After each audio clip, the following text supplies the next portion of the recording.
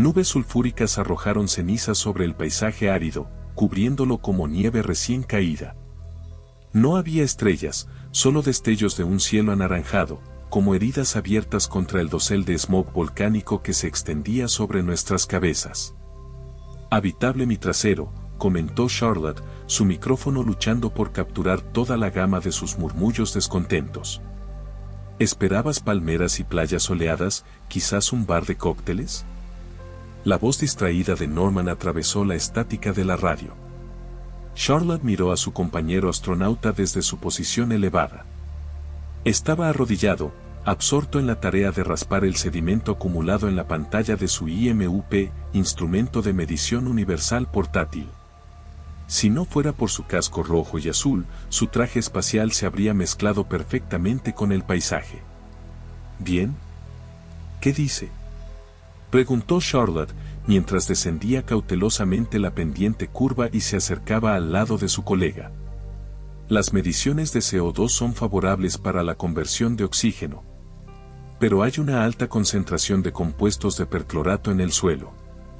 Así que supongo que no es el lugar ideal para empezar el huerto de tomates de mis sueños. No si te gusta tener una tiroides que funcione. Aún así, hay potencial. Con un tirón firme y asistido por la gravedad relativamente indulgente del exoplaneta, Norman levantó el dispositivo con forma de maletín del suelo y lo colocó sobre su espalda, donde se aseguró magnéticamente a su sistema de soporte vital. Charlotte le ofreció una mano a su colega, que él rechazó cortésmente. Su traje era idéntico al de él, blanco con un casco rojo y azul y una representación del primer presidente de Estados Unidos cerca del corazón, rodeado por un círculo dorado. Era un símbolo que aparentemente había tenido importancia en alguna época pasada, cuando Washington solía ser una metrópoli terrestre en el planeta Vieja Tierra, en lugar de la designación de su nave natal, una de las muchas que navegaban sin rumbo por el vacío del espacio, albergando los últimos restos de la humanidad. Aunque algunos se atrevieron a soñar con un resurgimiento, ni Norman ni Charlotte se hicieron ilusiones de presenciar algo así en sus vidas. Terraformar un planeta como el que se encontraban actualmente en un hábitat viable para la vida basada en el carbono habría requerido unos buenos tres o cuatro siglos como mínimo. Después de recuperar completamente su equilibrio, Norman giró su visor hacia la dirección general del lugar de aterrizaje. En verdad, no tuvieron que aventurarse tan lejos solo para recolectar algunas muestras preliminares, pero la superficie de Armstrong 7 resultó sorprendentemente intuitiva para atravesar. Ambos disfrutaron la oportunidad de estirar las piernas antes de quedarse atrapados nuevamente en ese ataúd de metal flotante. Justo cuando el dúo se preparaba para comenzar el largo viaje de regreso a su punto de extracción, algo hizo que Charlotte detuviera abruptamente su paso. El crujido de sus pesadas botas cesó. Al percibir su vacilación, Norman hizo lo mismo y se giró para mirarla. Oye, ¿lo estoy viendo bien? preguntó Carlota. Su pregunta no fue retórica, sonaba como si realmente estuviera buscando su confirmación. Norman redirigió su atención hacia donde apuntaba su dedo enguantado. A unos 50 pasos de ellos, sobresaliendo del residuo polvoriento que parecía cubrir cada centímetro de este lugar, estaba. ¿Es eso una mano? Lo parece. O eso, o ambos lo hemos perdido. La mujer asintió mientras forzaba la vista para distinguir mejor el objeto. De hecho, parecía haber algo que parecía una mano que sobresalía del suelo, como si buscara algo más allá de su alcance. Una observación más cercana confirmó que no se trataba de una extraña formación rocosa ni nada por el estilo. Se trataba de una mano humana real, presumiblemente hecha de carne y hueso, aunque su composición exacta aún estaba por determinar. Estaba ubicado aproximadamente en el centro del cráter poco profundo en el que también se encontraban actualmente, como si fuera solo una parte esperada de su entorno. Entonces, ¿opiniones? Norman instó a su compañero mientras se acercaban al hallazgo. Pasó un minuto completo antes de que Charlotte respondiera, ahora de pie junto a él, ambas mirando hacia el miembro pálido e inmóvil que sobresalía de la superficie del planeta que previamente habían asumido inexplorado. Parece fresco. Quienquiera que esté conectado no podría haber estado enterrado aquí por mucho tiempo. Norman golpeó con su bota el estrato de ceniza que lo separaba del árido suelo del exoplaneta. La implicación de que había un cadáver directamente debajo de ellos quedó en el aire con deficiencia de oxígeno. La extremidad parecía congelada, con los dedos rígidamente cerrados en un gesto perpetuo de agarrar o arañar, dependiendo de la perspectiva de cada uno. Supongo, Norman intentó contribuir. Por reflejo se estiró para rascarse la nuca, solo para recordar su casco. Supongo que no es del todo imposible que otra colonia haya aterrizado en Armstrong 7 antes que nosotros. Por lo que sabemos, todavía podrían estar por aquí. ¿Y qué? Enviaron a sus exploradores aquí sin trajes, replicó Charlotte, notando la ausencia de cualquier cubierta protectora en la mano. Tal vez algo salió mal, un accidente, y el resto no tenía ganas de llevar un cuerpo entero al reciclador. ¿Pero tuvieron tiempo suficiente para enterrarlo? Norman se encogió de hombros. No es que hayan puesto mucho esfuerzo en ello. Dijo, casualmente empujando la extremidad rígida con el pie. La perpleja pareja permaneció boquiabierta en silencio ante su mórbido descubrimiento durante un rato más. El velo de contaminación que se cernía sobre nuestras cabezas no mostraba signos de dispersarse, asfixiando el cielo y permitiendo que solo fragmentos de luz solar se filtraran sin obstáculos. Por otra parte, en un planeta cuya magnetosfera había sido completamente erosionada, la capa adicional de protección contra la radiación solar que los golpeaba podría haber sido una bendición disfrazada. Correcto, dijo Charlotte, blandiendo su pala de excavación y entregándosela a su colega, quien la miró con expresión perpleja. Tú cavas, yo jalo. ¿Hablas en serio? ¿Qué preferirías que cavara? Pensé que siendo usted el caballero y todo. No, quiero decir, ¿por qué diablos haríamos eso? Deberíamos establecer retransmisiones e informar a la órbita. ¿Y qué crees que nos harían hacer, dejar todo y volver a casa? Vamos, tenemos que comprobar si hay alguna insignia en el cuerpo. ¿Podría decirnos de qué colonia son? Norman suspiró y aceptó la herramienta a regañadientes. Quitar la capa superior de depósitos superficiales sueltos fue bastante fácil, pero no pasó mucho tiempo hasta que la hoja tocó suelo compactado. La cantidad de esfuerzo requerido para cada palada se multiplicó por 10. También podría haberle pedido que excavara en cemento sólido. Toda su situación, toda, parecía cada vez más extraña, y no solo porque estuvieran desenterrando cadáveres en un planeta supuestamente deshabitado. En lo más recóndito de la mente de Norman había un pensamiento molesto e intrusivo de que se estaban involucrando en algo que escapaba mucho de su comprensión. Sin embargo, la naturaleza de la revelación en sí misma no es maligna ni benevolente, simplemente lo es o no lo es. La pregunta crucial que Norman debería haberse planteado fue si poseía la capacidad para resistirlo. Creo que está empezando a soltarse. exclamó Charlotte. Su agarre pasó de la muñeca del brazo al codo expuesto. Luego de una secuencia de tirones inconexos, la mujer perdió abruptamente el equilibrio y cayó hacia atrás con un grito. Norman miró por la esquina de su visor, que se había empañado por el esfuerzo de su respiración. Abrió la boca con la intención de preguntarle si estaba bien, pero las palabras se quedaron atrapadas en su garganta.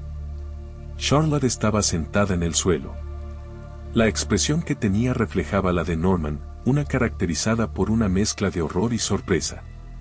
Todavía estaba aferrada a la rama ahora parcialmente desarraigada, demasiado abrumada por el shock para soltarla de inmediato, o al menos hasta que pudiera verla adecuadamente. En lugar de convertirse en un hombro o un muñón cortado, la parte inferior del brazo pareció ramificarse en una compleja disposición de extraños tubos orgánicos. Charlotte procedió a bajar suavemente la extremidad antes de volver a la posición vertical. Mierda. ¿Soy yo, o se ven como? Sí. Norman interrumpió, confirmando su observación mientras se paraba frente a ella. Raíces. Estaban mirando una red palpitante de raíces que conectaban lo que creían que era un brazo con el suelo alienígena, cuyas propiedades exactas claramente merecían un estudio adicional. Ninguno de los astronautas sabía cuál era la respuesta adecuada. Ni en sus sueños más locos de encontrar el primer ejemplar de flora o fauna extraterrestre, nunca habrían concebido algo tan poco ortodoxo como esto. El espacio había demostrado estar mucho más muerto de lo que cualquiera en la vieja Tierra podría haber predicho.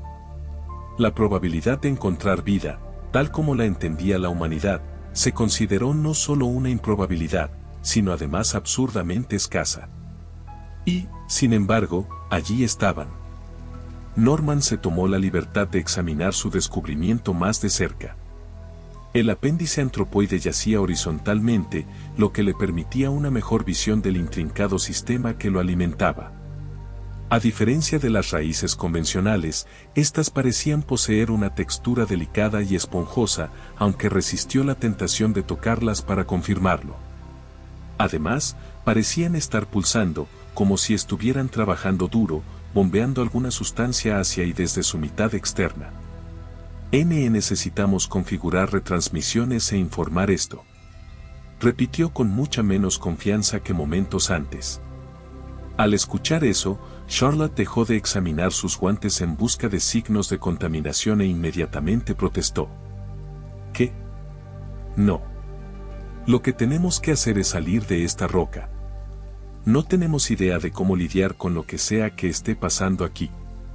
Haremos un informe detallado y dejaremos que Washington envíe a alguien que realmente sepa lo que está haciendo. Norman hizo un chasquido con la lengua. Desaprobó la insistencia de su camarada en ignorar el protocolo estándar, pero también reconoció que nada en su situación era estándar. Además, no eran biólogos y la importancia de su hallazgo exigía la aportación de alguien mucho más cualificado que ellos. El mando probablemente les habría dado la misma directiva, razonó, por lo que no tenía sentido perder un tiempo valioso discutiendo. Tomaron algunas fotografías y reanudaron su marcha de regreso a su módulo de aterrizaje, emergiendo pronto del cráter y dejándolo atrás. La superficie de Armstrong 7 era bastante uniforme en todas partes. Sus únicos puntos de referencia dignos de mención eran los afloramientos rocosos irregulares dispersos por toda la vasta y amplia extensión gris. El activo redentor del planeta residía en su ubicación central dentro de la llamada zona habitable. Esto lo hacía teóricamente propicio para el mantenimiento de agua líquida, que fue lo que inicialmente llamó la atención de la colonia. La pareja se acercaba al lugar donde tocaron tierra por primera vez. Incluso desde la distancia, era difícil pasar por alto las luces parpadeantes de su nave espacial. Su diseño fue un claro homenaje al módulo lunar Apolo empleado anteriormente por sus precursores de la vieja Tierra, aunque enormemente mejorado en casi todos los sentidos imaginables. Mientras caminaban hasta la cima de una duna que supervisaba el tramo final que les esperaba, la vista que se reveló ante sus ojos prácticamente confirmó cuán fuera de su alcance estaban realmente. Había todo un campo de ellas, toda una plantación de manos humanas, cada una de ellas única en forma y tamaño, surgiendo de las cenizas. Algunos estaban solos, mientras que otros crecían en horribles grupos de dedos pálidos y carne fusionada, pareciendo listos para agarrar cualquier cosa que pasara, como una interpretación retorcida de una Venus atrapamoscas. Esos, esos no estaban allí antes, cuando diablos. Norman articuló, más para sí mismo que para su compañero. Todavía estaba tratando de aplicar la lógica a un fenómeno que estaba decidido a desafiarlo en cada oportunidad. La forma en que este jardín de carne parecía haber brotado espontáneamente era demasiado conveniente para ser accidental, y necesitaban atravesarlo si pretendían llegar a su módulo de aterrizaje. Era una perspectiva inquietante y Norman no estaba dispuesto a apresurarse sin considerar las otras opciones. Desafortunadamente, Charlotte nunca le dio esa oportunidad. Antes de que él pudiera siquiera consultarla, ella ya había comenzado su descenso. Esperar. Detener. Su voz resonó a través de la frecuencia de radio compartida. Al llegar a la base de la duna, su colega, que no respondía, procedió a abrirse paso entre los crecimientos sin dudarlo. Para sorpresa y alivio de Norman, no hicieron ningún esfuerzo por impedírselo. De hecho, se comportaban casi como plantas normales, cedían obedientemente y se inclinaban hacia un lado cuando ella pasaba corriendo junto a ellas. El paso de Norman se convirtió en medio trote. Dado que todavía desempeñaba el papel de mula de carga y cargaba la mayor parte del equipo de campo, era todo lo que podía reunir. Los brazos se cruzaron mientras forjaba su propio camino a través de ellos, solo para volver a su posición inmediatamente después, con los dedos extendidos hacia el cielo envuelto. Una vez que estuvo lo suficientemente cerca, finalmente logró agarrar el hombro de Charlotte, redirigiendo con fuerza todo su cuerpo hacia él. ¿Qué crees que estás haciendo? Él exclamó. Su ira se evaporó en el momento en que vio el rostro aterrorizado mirándolo. Era un tipo de terror que nunca antes había presenciado, nacido de una resistencia a aceptar la propia realidad, no tanto por alguna amenaza inmediata, sino más bien por miedo a tener que lidiar con sus implicaciones subyacentes. Por favor, por favor, vámonos. N no quiero estar más aquí, suplicó Charlotte. Su confusión interior se reflejó en la tensión de su voz. Un sentimiento sensato, pero que había llegado demasiado tarde. Como si fuera una señal, el suelo de repente comenzó a vibrar, y los dos observaron cómo los crecimientos en forma de extremidades se retiraban simultáneamente debajo de los estratos cargados de cenizas, similares a gusanos tubulares que sentían algún peligro inminente. Los primeros temblores solo lograron sacudir a la pareja, pero los siguientes casi los hicieron perder el equilibrio. Algo iba a por ellos. Algo grande. Había menos de 100 metros que los separaban de su módulo de aterrizaje. Desafortunadamente, los terremotos eran cada vez más fuertes y frecuentes, lo que hacía difícil mantenerse en pie y mucho menos avanzar. La garganta de Norman ardía mientras tenía que tragar su propio vómito. Le palpitaba la cabeza. Con cada paso difícil, se despojaba de más y más equipo para poder seguir el ritmo de Charlotte, que corría decididamente hacia su nave espacial. Se lanzó hacia adelante, solo para que el suelo bajo su bota cediera abruptamente. Antes de que tuviera la oportunidad de redistribuir su peso, su pierna izquierda ya había quedado atrapada, tragada por una grieta invisible en la tierra violentamente rebelde. ¡Ayuda! ¡Ayúdame! Charlotte escuchó la desesperada súplica de ayuda de su compañero y se dio la vuelta. Finalmente había sucumbido al pánico. Sus azarosos intentos de liberarse solo sirvieron para atraparlo aún más. Mientras tanto, se abrían más y más grietas a su alrededor, como si el planeta se estuviera desgarrando. Un enérgico lo siento fue todo lo que pudo ofrecerle al desafortunado hombre antes de cortar su conexión de radio y abandonarlo a su suerte. Los gritos de ayuda de Norman se transformaron en una serie de improperios. Y, sin embargo, no importa cuán desesperadamente ladrara para que ella regresara, todo lo que recibió como respuesta fue estática. Sus esfuerzos por liberar su pierna atrapada se volvieron aún más frenéticos, mientras se veía obligado a observar impotente cómo Charlotte avanzaba a trompicones hacia su única vía de escape. Justo cuando parecía que estaba a punto de perder el equilibrio, logró agarrarse de la escalera que conducía a la escotilla delantera. Al subir al compartimento de la tripulación, le lanzó a Norman una última y lamentable mirada antes de cerrarlo tras ella. El sistema de propulsión cobró vida con un rugido, encendiendo la tenue atmósfera que lo rodeaba. Cualquier rayo de esperanza que Norman pudiera haber conservado se extinguió al ver a su nave espacial abandonar la superficie del planeta sin él. Una ola de resignación invadió al condenado. Entrecerró los ojos y se protegió los ojos de la luz abrasadora de los motores, luego simplemente se quedó allí y observó cómo la máquina plateada y monocromática se elevaba hacia la salvación. Con cada segundo que pasaba, ascendía más y más, para pronto penetrar a través del manto de smog y desaparecer sin dejar rastro. En sus últimos momentos de cordura, Norman no estaba seguro de si clasificar lo que ocurrió a continuación como algún tipo de retribución divina en su nombre o como una exhibición profundamente humillante de cuán verdaderamente irrelevantes eran cualquiera de sus acciones. Los temblores se hicieron más agudos, concentrándose en un único punto directamente debajo de la trayectoria prevista del módulo de aterrizaje. La corteza del planeta comenzó a hincharse, como si algo intentara atravesarla, hasta que finalmente estalló, un apéndice monstruoso que superó ampliamente a cualquiera de los otros que los exploradores habían encontrado. Se dirigió hacia los cielos, sus dedos esqueléticos rodearon sin esfuerzo toda la nave espacial antes de que pudiera escapar, como la mano anémica de algún dios no muerto emergiendo de su tumba. Y luego, en un espectáculo horriblemente surrealista, procedió a aplastar y arrastrar el módulo de aterrizaje debajo de la superficie con él para nunca más ser visto.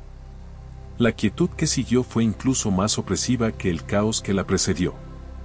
Con su cerebro ya no rebotando alrededor de su cráneo y el vértigo resultante disminuyendo, Norman finalmente reunió el esfuerzo coordinado para liberar su pierna, por todo el bien que le hizo. A través de su recinto transparente, se podía percibir el rostro de un hombre que había sido destrozado en todos los niveles posibles excepto en el físico. Al menos no todavía. Lentamente, como en trance, el astronauta se dirigió hacia la enorme cavidad de la que había surgido el brazo gigante. Al llegar al precipicio, miró hacia las profundidades abisales y, como dice el proverbio, la oscuridad le devolvió la mirada. Una sonrisa trastornada se formó en su rostro. Houston, hemos encontrado el infierno. Y eso es todo por hoy, si llegaste hasta acá no queda más que agradecerte espero que hayas disfrutado de este relato de terror, si te ha gustado por favor deja tu like, suscríbete y activa las notificaciones para que no te pierdas todas las actualizaciones de las próximas obras por venir en el canal, gracias hasta la próxima.